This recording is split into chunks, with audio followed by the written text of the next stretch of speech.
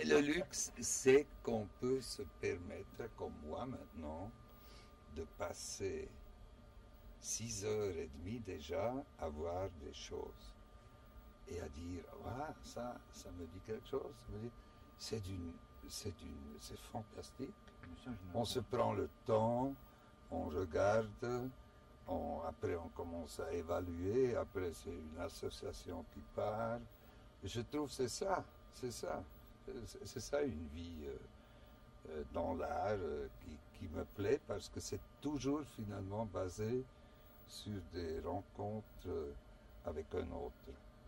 Donc, on a voulu vendre la famille Solaire, Picasso, pour faire de l'argent. Écoutez, la ville de Liège. Remplir un, un trou. Ouais, exactement. Voilà, mais là, moi aussi, j'avais protesté, j'ai écrit, et bon, finalement, ça s'est pas fait.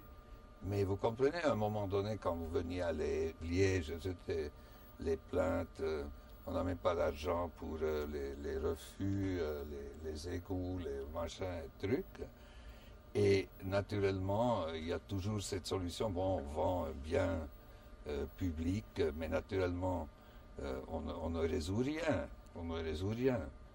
Et je, me souviens quand je suis venu la première fois en Wallonie, c'était, il y avait encore le grand collectionneur, Grindorge, ben, c'était 62.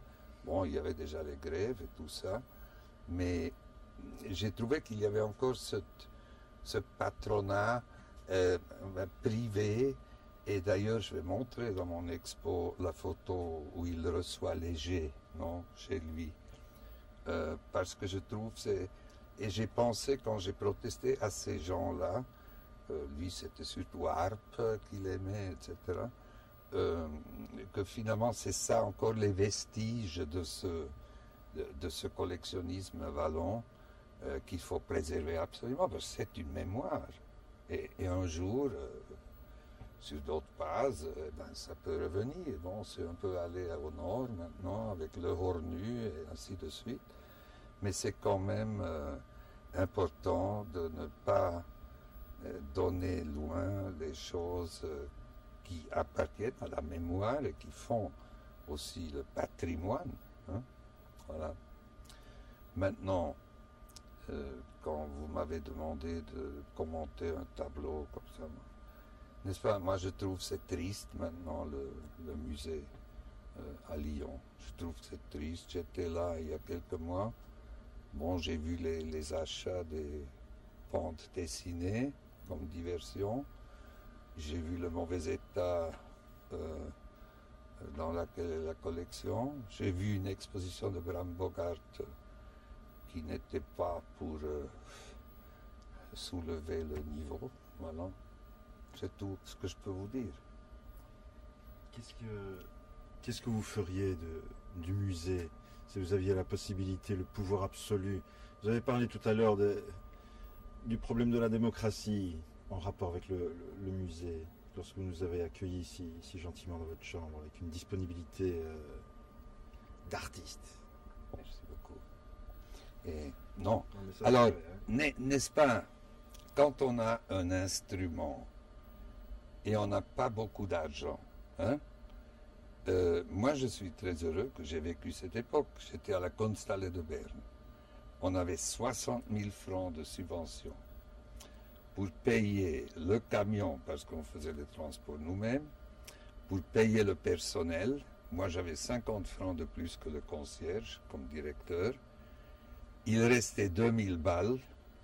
Et bien, à ce moment-là, vous devez vraiment, euh, voilà, vous devez vraiment avoir des idées et des idées, parce qu'aujourd'hui les, les échanges, ça fonctionne. Bon, si, on fait quelque chose à Liège, et c'est bien, il y a certainement quelqu'un qui va le reprendre. Euh, l'important, c'est de produire soi-même et, penser. Et puis j'ai dit, euh, euh, si vous faites, hmm, n'est-ce pas, des, des jeunes, d'abord c'est moins cher. Euh, en même temps, il ne faut pas s'y attendre qu'au premier mois, c'est un succès. Et quand par exemple, quand j'étais au Japon, euh, j'ai voyagé chez les artistes pour expliquer l'architecture de Bota, qui est toujours un peu euh, pas la, plus réussie pour faire des, choses. Et, après, euh, la dame japonaise a refusé mon hôtel quand j'étais en voyage. J'ai même pas compté les kilomètres, mais l'hôtel, j'ai compté, elle a dit refused. J'ai dit pourquoi? Alors elle a dit, mais vous n'avez pas plus besoin d'aller voir les artistes. vous prenez juste le téléphone. J'ai dit, eh non, vous êtes venu trois fois me voir au Tessin pour me demander si je faisais cette exposition. Bon, moi j'ai dit oui. Mais maintenant, moi, je demande aux artistes, oui ou non aussi. Et c'est normal. Mais après, finalement, elle a dit, OK, I pay your hotel, but it's not right. Là, je trouve qu'évidemment, ils veulent vous stresser, non? Mais c'est toujours à moi de décider, ça je peux encore faire, vous vous imaginez très bien que je refuse tous les jours deux choses. Hein.